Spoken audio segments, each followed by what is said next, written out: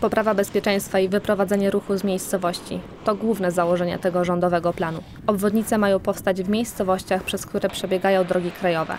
Dzięki nim cały ruch pojazdów ciężarowych będzie się odbywał poza terenem zabudowanym. Dziennie bardzo dużo przejeżdża tędy tirów. Bardzo duży ruch, nie? E, Przejście jest tylko jedno, także, także e, a dzieci, dzieci jest e, we wiosce dużo, które przemieszczają się też tutaj do parków z jednej i z drugiej strony. Całym województwie zachodniopomorskim ma powstać 9 obwodnic, z czego 4 w powiecie wałeckim. Szwecja, Wałcz, Rusinowo i Człopa leżą przy drodze krajowej 22 i cały ruch tranzytowy przebiega przez ich centra. Droga numer 22 jest jedną z tras mm, wyznaczonych również, jeżeli chodzi o dyskusję z branżą transportową, jako ten priorytet poza autostradami i drogami ekspresowymi dla dróg pełniących rolę mm, również dla transportu ciężarowego.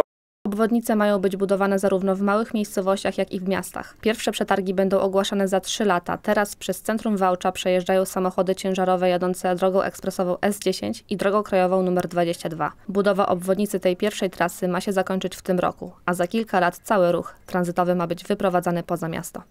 Cieszymy się z tego, że e, powstanie prawie praktycznie pełny ring, bo między 22 a 10 e, to jest dla nas niezwykle ważny korytarz łączący i uzbrajający e, w układ komunikacyjny naszego miasta, odciążający naszych mieszkańców.